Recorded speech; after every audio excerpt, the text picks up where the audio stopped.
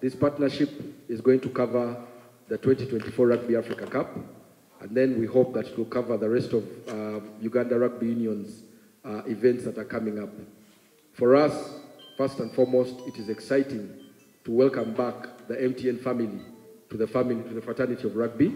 We are seeing it as something that is going to break the barriers of our fans' experience.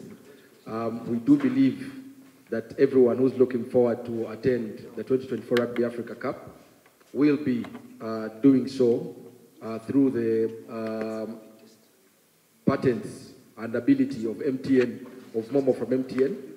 Uganda Rugby Union is the number one uh, union cherished on this continent. So we will always wish to, to move with the best. And MTN Momo has the footprint that we desire to uh, tag along.